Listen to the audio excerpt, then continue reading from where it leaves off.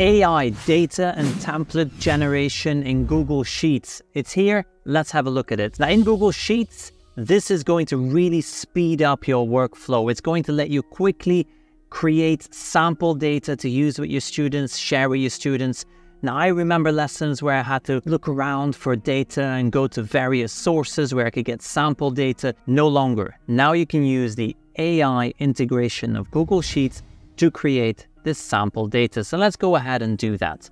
Here in Google Sheets, you'll notice there's a new icon here on the left that says help me organize. Now this is only step one of the AI integration. Much more is coming further down the line. Google has already announced that they have big plans for the AI integration with Google Sheets. We can also go to Insert and then here select Help Me Organize. So let's go ahead and tell Google Sheets what we want. A student data tracker with ID, name, class, house, extracurricular activities, and attendance. I want the template to have 20 entries. So we can even specify how many entries we want, how many different data points. Let's create. It is now going to run in the background. It's bringing these ideas to life and it's going to generate a template. And there we go. We have our ID, name, class, house, extracurricular activities, and attendance. So you can see we have 20 entries. Names have been made up. We've got the different grades. Now you can see they're all in first grade. So what I'm going to do is I'm going to add some more instructions. I want a spread of ages and grades. And now we can create once more.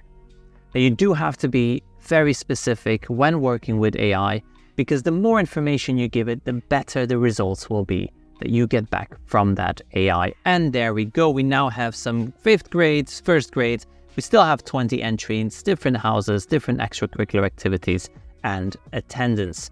If we're happy with this, we can click on Insert, and this has now become part of that spreadsheet. Let's name our spreadsheet Student Data Sample 2. And so we can create a number of different sample data sets and then share these with our students. This is incredibly helpful. Let me know how you will be using this in your lessons. Will you use this at all? Is it something that you're excited about? Do you think this will save you time preparing those different spreadsheets and files to share with your students? I personally think this is a huge time saver. No longer do you have to create or generate manually generate all these data sets. You can just have AI do it for you and then use them in your trainings, in your lesson. Let me know in that comment section below.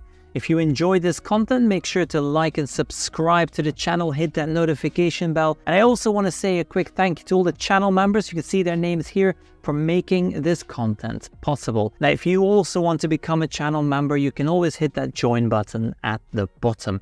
In the meantime, thank you for watching and I will see you in the next one.